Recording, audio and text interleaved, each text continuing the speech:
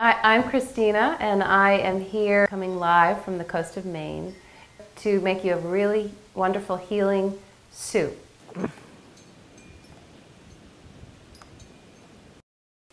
So today we're going to make a delicata squash soup, which is great for the element earth, which we're in right now. It's Indian summer, it's October. It's warm, warmish, coldish. The days are getting cooler, but it's getting cold. We can tell that soon there'll be snow on the ground.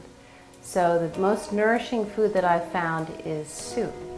And I love making soup. And what I do with my soup is I put my intention into the soup.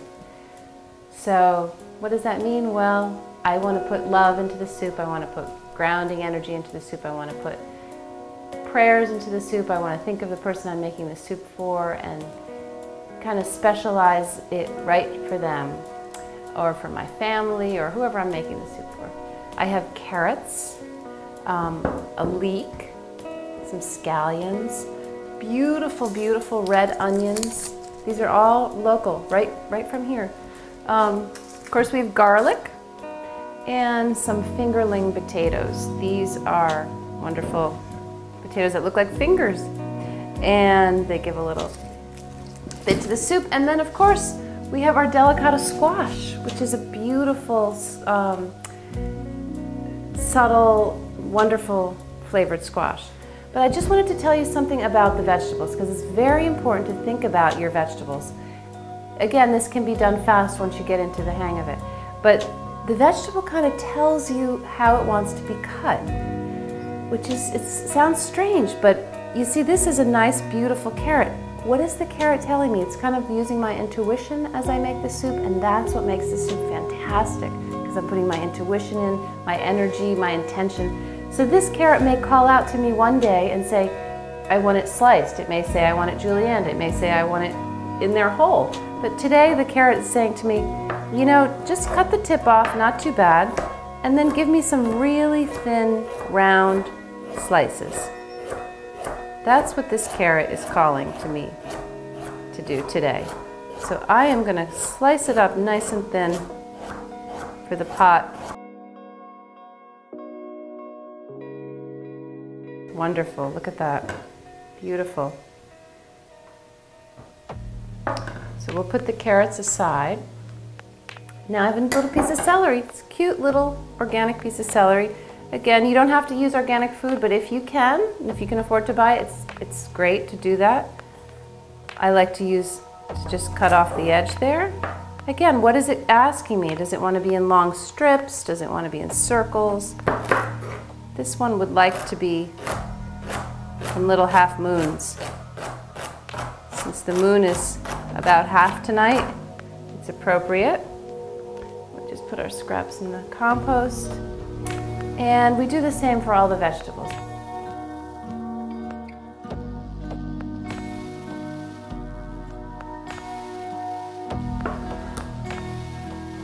Again, we'll go with the half moons.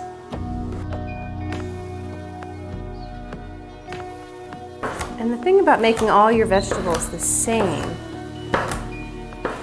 like cutting each separate vegetable in the same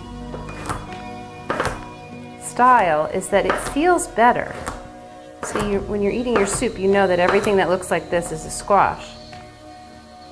Everything that's a round disc is a carrot. If you mix it all up, it starts to have the feeling that you know, what's in this soup? It's kind of all just thrown together. So it's nice to have these symmetrical shapes. So once all your vegetables are chopped, you start to make them, put them in the pot. I start everything that I do with this wonderful extra virgin olive oil from Italy. Can be from anywhere, but that's just what I use. So you coat the bottom of your pan with the oil and start with garlic.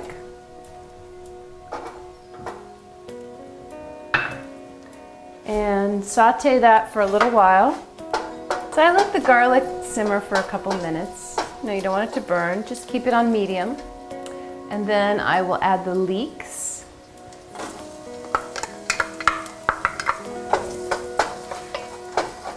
And leeks give such a rich flavor to soup. I just, I love leeks. You don't have to use onions with leeks, but for this soup we're gonna do that because again, it's this time, it's this season where everybody wants to stay nourished and healthy and transition from the summer into the fall. And all these root vegetables, garlics, onions, they really help to nourish the parts of your body that need it at this time. So I'm going to put my red, my beautiful red onion in the soup.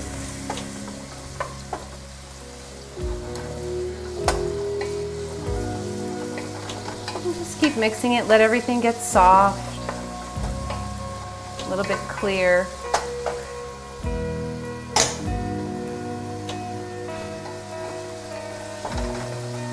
Smells incredible. And the thing about soup is to have fun with it.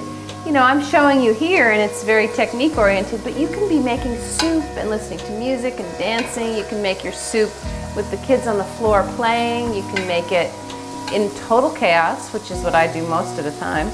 Um, you can put it together while you, you know, have something else in the oven, while you're baking. You can do it any time of day. You know, soup will keep for a couple days two or three days. It's a great lunch. Again, extremely nourishing, warming. The reason why I like it is because I'm warm all summer and I start to get cold when the season changes and this just warms me up. A bowl of soup, incredible.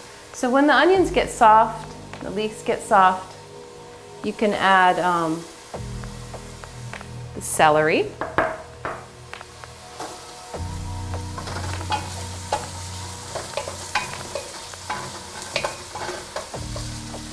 And again, just let that soften. With the element of earth, you want to think of grounding yourself. So these root vegetables, the onions, the garlic, the leeks, they grow in deep in the ground, not too deep, but they grow in, in the ground underneath the soil. And the energy of them is always downward. Carrots, same way, downward, it's growing downward. So if you're feeling a little unbalanced, which sometimes we can feel going, I mean, we can feel it in any season, but especially going from the warmth of summer into the cooler of autumn, um, the root vegetables help ground us. So it brings you from heaven to earth in a nourishing way. So you, you want to have these wonderful grounding foods. As winter goes on, we get into more and more root vegetables. I'm going to add the carrots. Look at that beautiful color that comes alive. You have the purple onions, beautiful green leeks and celery. Now the carrots. It's a light color, feels good. It just sizzles away. Ah, smells amazing. I'm going to add the fingerling potatoes. Again, they give them a new dynamic. And I'm adding potatoes to this, this batch because I want it to be a little bit more hearty. If you ever want something to be hearty in a soup, just add a potato and that brings it. Then you're like, wow. And these potatoes were, uh, my kids picked them right out of the garden. So they're, they're local, which is great. You want everything to be as local as possible. But again, don't get too hung up. You know, if, if all you can do is run into the supermarket and buy a potato, then do it. As long as you're making the soup and you're putting the intentions into it. Now, once I have all the vegetables in the pot, I'm going to add the squash now. Delicata goes in. Oh, look at how beautiful that is. It's just sunlight. Ah, wonderful. And just let it simmer for a little while. So all the vegetables are in the pot and we cover the pot with water. Nice cold water.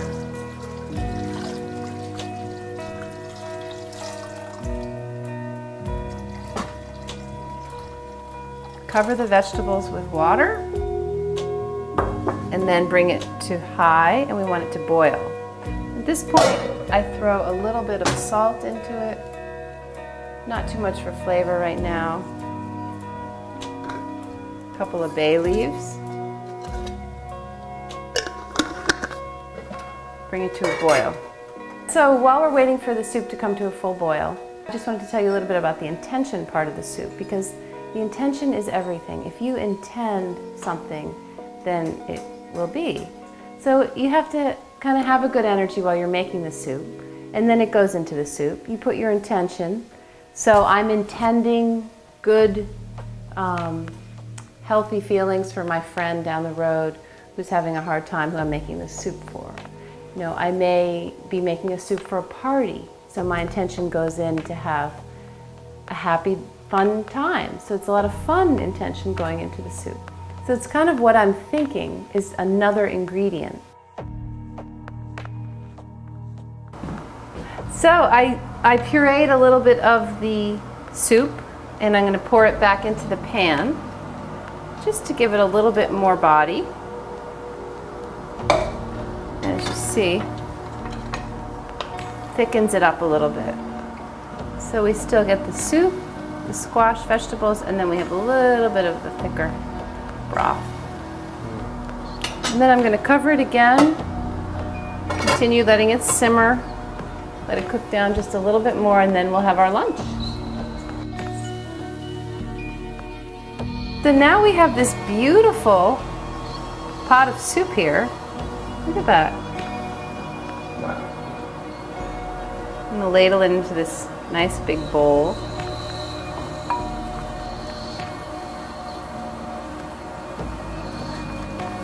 Perfect Indian summer day soup. Sit down here.